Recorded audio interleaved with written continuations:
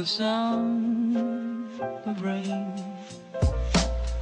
upon my window pane. The sound of rain upon my